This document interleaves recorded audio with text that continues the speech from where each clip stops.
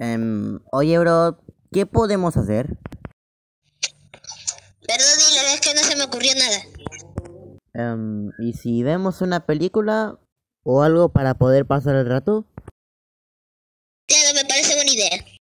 A few moments later. Dos turnos han pasado, Kaiba, así que mi mago oscuro es libre de las ataduras que lo sujetaban. Pero aún hay más juego, dimensión mágica.